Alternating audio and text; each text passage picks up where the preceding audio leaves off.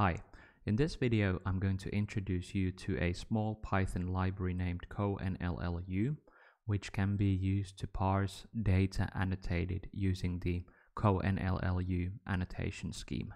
To get started, let's import the CoNLLU library and open a file annotated using this schema for reading in Python read the contents and assign the result under the variable annotations. If we check the type of this object, we'll see that it's a Python string. And if we print out the first 1000 characters of the string, then we'll get the CoNLLU annotations, which were introduced in the previous video. This string object, of course, gives us the annotations, but the problem is how to access them effectively. In this cell, we call the parse function from the CoNLLU library and feed the string object stored under the variable annotations to this function.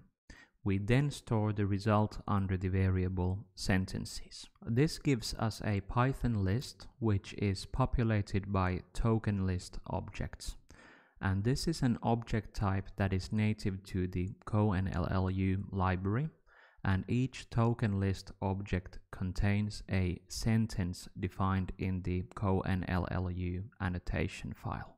So if we check the first item in the list sentences, this gives us the first sentence defined in the annotation. As you may remember from the previous video, the CoNLLU annotation schema allows defining comment lines which describe the following sentence and this information is parsed and stored under the attribute metadata of a token list object. And as you can see, this corpus provides four types of metadata information for each sentence. The metadata object can be accessed just like a Python dictionary, so we can provide a key in brackets after the metadata attribute to retrieve the value under this key. The token list object in turn consists of objects named tokens, not surprisingly, which can be accessed using brackets. So let's go ahead and fetch the annotations for the first token in the first token list object under the list sentences.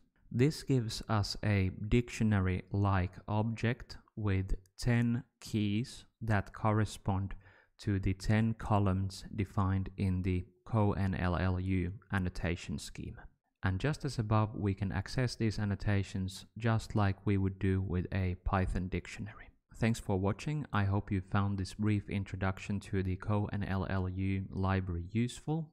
And if you have any questions, feel free to leave a comment below. Thanks.